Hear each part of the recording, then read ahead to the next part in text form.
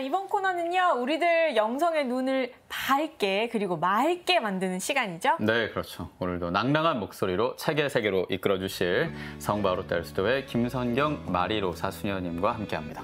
안녕하세요, 수녀님. 안녕하세요. 반갑습니다. 네. 잘 지내셨나요? 네, 잘 지냈습니다. 네, 잘 지내셨군요. 네.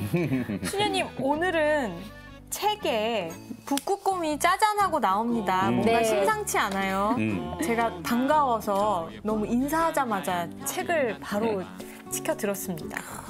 아주 귀여운 네. 북극곰 있죠? 그러네요. 네. 오늘 소개해드리고 싶은 책은 어, 환경 에세이, 황창현 신부님의 환경 에세이, 북극곰 어디로 가야 하나라는 제목의 책입니다. 네, 그래요. 제목만 봐도 이렇게 느낌이 오시죠? 오네요. 예. 환경은 사실 진짜 중요하죠. 네. 음. 우리가 앞으로도 계속 살아가야 할 그럴 곳이기도 하고요. 그렇죠. 그렇죠. 우리의 후손인 누군가, 누군가도 계속 살아가야 할 곳 이기 때문에 네. 지금부터라도 우리가 지키고 음. 보존하고 해야 한다고 저는 생각해요. 지금 다혜. 씨가 더 이렇게 힘주어서 얘기를 네. 하시는 게 이번 달에 지나긴 했지만 세계 환경의 날이 있었어요. 그래서 네, 맞아요. 예, 인터뷰도 제가 한번 쭉 하면서 기억해야겠다 생각하고 실천을 하지 않는 이 시점에 저는 다시 한번 이 책을 보니 경각심을 갖게 되는데 네. 네. 가져오신 이유가 있죠. 네.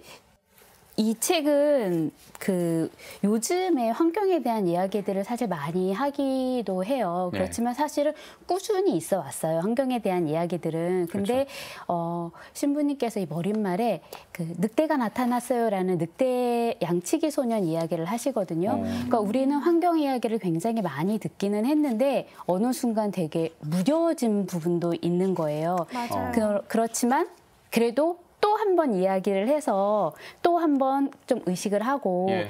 하느님께서 우리에게 주신 이 선물 음. 이, 이 아름다운 곳에서 우리가 같이 기쁘게 그리고 지금 우리가 살고 있는 것처럼 우리 후손들도 여기를 충만하게 누리면서 하나님 네. 주신 선물을 충만하게 누리면서 한번 살 수 있도록 다시 한번 의식하자라는 마음에서 또 이 책을 또 가지고 왔습니다. 네, 맞아요. 그렇군요. 또 여기 책을 보니까 제가 너무 좋아하고 존경하는 신부님께서 쓰신 책이에요. 음. 네. 그렇지만 좀 부끄럽지만 다 읽지는 못했습니다.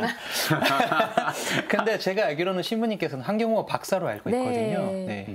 어, 신부님께서 환경 강의도 굉장히 많이 하러 다니시는데 신자들이 물어본대요. 그러니까 시- 비신자들도 이렇게 물어보기도 하나 봐요. 음. 신부님께서 왜 환경 강의를 하시나요? 이렇게 물어보시면 신부님께서 이렇게 대답을 하신대요.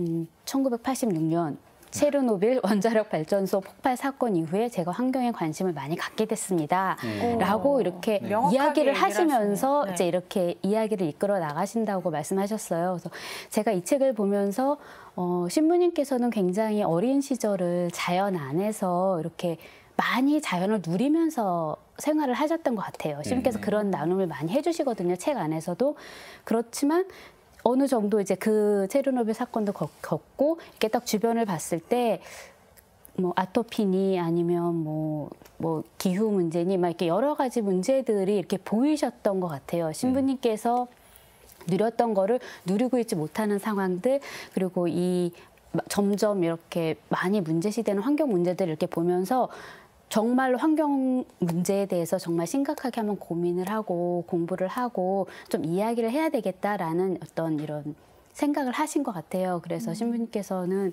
아주 구체적인 방법으로다가 이렇게 환경 이야기를 해주시면서 어, 평창의 성 필리포 생태마을 예. 운영 네. 같이 하시면서 실제로 이렇게 많은 예, 실제적인 일들을 많이 하시고 또 그 강의도 많이 다니시고 음. 그러시고 계십니다. 네. 자연이 없어지면 결국은 우리의 살 곳도 없어지는 거예요. 사실 맞아요. 그게 제일 중요하죠. 네. 이래서 이렇게 책으로든 주위의 누군가로든 네. 자꾸 이런 환경에 대한 얘기를 들으면 잠깐 잊었다가도 그렇죠. 다시 생각을 하게 되고 음. 뭔가 아 그래 이거는 이렇게 해야겠다라는 마음을 먹게 되거든요. 음. 저도 이제 꽃집 에서는요. 네. 참 이것저것 환경에 좋지 않은 것들이 많을 수밖에 없어요. 음. 자연을 그렇죠. 가장 자연을 다루는 곳이긴 하지만 그걸 뭔가 예쁘게 만들려면 부수적인 아, 것들이 참. 많이 필요하거든요. 음. 그래서 꽃집에서는 최대한 포장은 비닐을 쓰지 않고 종이 한 장으로 끝내려고 해요. 음. 근데 처음에는 이제 익숙하지 않으신 분들은 포장을 이렇게 이렇게 해줘야지. 화려한 걸 아. 네. 좋아하시니까. 왜한 장으로 끝내냐? 좀 더 해달라. 그러면 아. 일일이 다 말씀을 드려요. 최, 비닐도 최대한 드리지 않고 음. 종이 포장지로 좀 교체하고 불편하시더라도 음. 안고 가시는 건 어때요? 이렇게 말씀을 드렸더니 몇 년이 지나니까요. 이제는 그게 좋아서 오시는 분들이 생기더라고요. 그 포장이. 그 한 장짜리 종이가 좋아서 오시는 분들이 생겨서 음. 참 감사하고 고맙게 생각하거든요. 음. 작게나마 그냥 저 맞아요. 혼자서 하는 뭔가 그런 환경 운동이에요. 아주 조용히. 이미 대단하십니다. 네. 아, 예. 아니 저는 말씀을 듣고 그 생각이 났어요. 혼자서 하는 거라고 이야기하셨지만 네. 그게 좋아서 찾아오시는 분들이 계시다고 하셨잖아요. 그러니까요. 그럼 혼자서 하는 게 아니고 같이 하는 게 아닐까라는. 생각이 드네요. 그러네요. 이미 네. 같이 하고 있는 네. 소소한 그런 행동들이라고 하면 전 당연히 텀블러를 계속 사용하는 거는 음. 대부분이 하시니까 근데 저는 샤워를 하는 게 제 삶의 낙일 정도로 어, 중요하죠. 그 온수 샤워로 아침에 스트레스를 풀고 목도 풀고 그렇게 네. 하는데 물을 너무 많이 쓰는 거예요, 제가. 어. 그걸 알지 못했던 거죠. 그래서 이번에 세계 환경의 날을 맞아서 샤워를 한 5분에서 10분 정도만 해보자 타이머를 설정해서 아, 샤워를 몇 분이나 하시는 거예요? 저는 10분 이상씩 했었거든요. 어. 예. 근데 5분에서 10분이면은 훈련소 때나 들어가 나와 그런, 그런 느낌이었거든요. 예. 그렇게라도 해야겠구나. 이 책을 읽으니까 더 그걸 알게 되더라고요. 이책 내용 더 궁금해지기도 하고요. 네. 음, 그렇죠. 책 내용 시- 수녀님은 어떤 부분이 마음에 드셨나요? 궁금합니다. 어, 제가 먼저 읽어드리고 할까요? 네. 네, 그렇죠. 예. 네. 환경학자들은 지구촌 사람들을 끓는 물 속에 개구리에 비유한다. 개구리를 끓는 물에 집어넣으면 뜨거운 열을 감지해서 뛰쳐나온단다. 하지만 미지근한 물에 넣어 천천히 물을 덮이면 끓는 물에 피부가 서서히 적응해서 나중에는 자신이 끓는 물에 있는지도 모른 채 죽는다고 한다. 현대인들은 지구 온난화에 서서히 적응해서 자신들이 끓는 물 속에서 곧 죽을 것이라는 사실도 모르고 있다.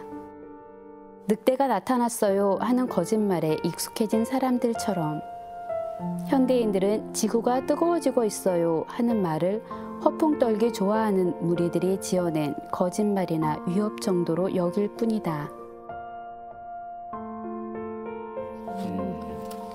뭔가 신부님의 그 무게가 담긴 네. 경고 아닌 경고 같기도 하고. 또 워낙 자연을 사랑하고 좋아하시는 분이니까요. 그러네요. 친구가 항상 하는 얘기가 갑자기 떠올랐어요. 지구가 아파합니다. 네. 적당히들 하십시오. 음, 이런 얘기를 적당히들 친구가 하십시오. 항상 그런 얘기를 SNS에 올리곤 하는데요. 음, 음. 그만큼 사실 잘 잊어요. 맞아요. 잊는 게 제일 음. 문제인 거예요. 네. 실제적으로 우리가 같이 조금 심각성을 느끼고 있으면 조금만 이렇게 책을 찾아봐도 조금만 컴퓨터를 찾아봐도 사실 할 수 있는 것들을 굉장히 많이 찾을 수가 있거든요. 네. 그런데 금방 금방 잊는다는 거. 우리가 아까도 이야기를 네. 했지만 예. 금방 금방 잊고 왜냐하면 편하거든요. 음. 편하잖아요. 사실 뜨거운 물로다가 이렇게 샥 시원하게 하는 것도 기분 좋고 그리고 아주 쉽게 그냥 뭐 텀블러 안 가지고 다니고 그냥 음. 일회용 컵 쓰고 그냥 이렇게 딱 버리고 이런 게 그냥 편하고 좋으니까 그리고 어떻게 하다 보면은 우리는 편한 쪽으로 조금씩 이렇게 이렇게 게을러지게 예. 하, 되잖아요. 그렇죠. 근데 그렇기 때문에 조금 더 의식했으면 음. 아 지금 우리가 미지근한 물에서 점점 점점 끓고 있는 개구리일 수도 있어라고만 음. 생각을 해도 음.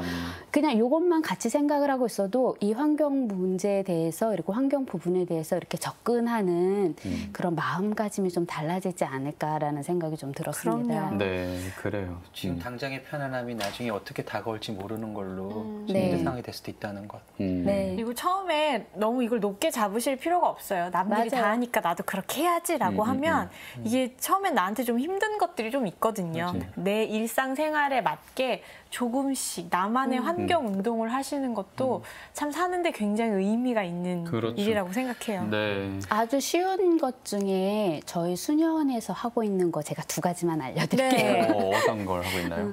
어, 하나는 전기 플러그를 뽑는 거예요. 아, 오. 예. 어, 신부님께서 그 파워 뱀파이어라는 표현을 여기 쓰셨어요. 어, 그러니까 이게-. 예. 예. 그 플러그를 안 뽑는 거가 그만큼 이렇게 전기를 많이 쓴대요. 음. 잔류 전기가 10%, 예, 있잖아요. 10% 음. 정도나 더 많이 쓴다고 이야기를 하시더라고요. 근데 저희 같은 경우는 이렇게 매번 꽂았다 뺐다 하기가 이렇게 힘들잖아요. 네. 그래서 저희는 이렇게 똑딱이라고 저희는 표현을 하는데 왜 절전형 네, 네, 네. 예, 절전형 스위치 있죠. 그 저희는 모든 전기 콘센트를 그걸로 바꿨어요. 네. 그래서 이미 벽에 있는 거는 바꿀 수 없으니까 이렇게 왜 한 개나 두 개짜리 이렇게 네, 있는 네. 그 멀티탭이라고 예, 그러죠. 멀티탭 네. 그걸로 바꾸면서 안 쓰면 이렇게 저희 똑딱이 껐어 이렇게 표현하거든요. 음. 그래서 이렇게 딱 끄고 이제 그런 부분이 하나가 있고 그리고 또 한 가지는 음, 수도꼭지 있잖아요. 네. 네. 수도꼭지를 이렇게 더운 물이 있고 찬물이 있잖아요. 네. 그럼 네. 저희는 그걸 늘 찬물 쪽으로 이렇게 놔요.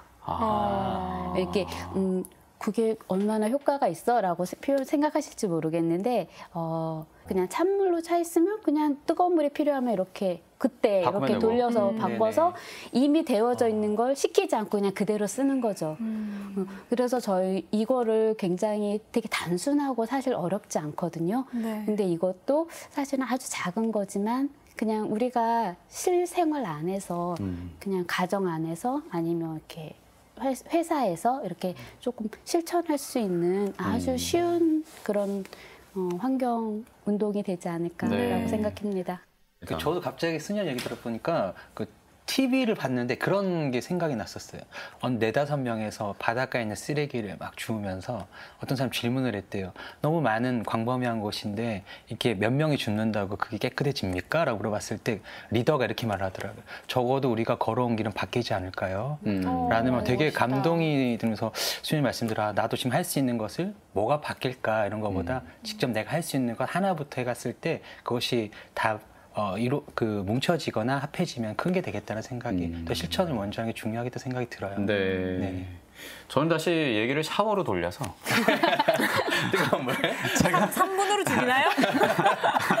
아니 제가 씻기 전에 항상 수도꼭지가 찬물로 돼 있었어요. 오, 이미 뭐 집에서는. 그럼 어머니가 다 하고 계셨던 거예요. 음. 그러니까 우리 막시모 씨가 말씀하신 것처럼 네. 어머니가 걸어온 길만큼은 바뀌었던 거예요. 어 아, 그러네요. 우리 집에선. 그쵸. 대기 전력도 다 차단하고 계셨고 그러니까요. 엄마는. 지금 저 소름이 돋았습니다. 오. 반전 영화 같은. 아 어머니 감사합니다. 아, 직접 표현하시면 더 좋아하실 것 같아요, 집에. 그러니까요. 아 집에 가서. 네. 예. 네. 이번 건 같이 봐야겠네요.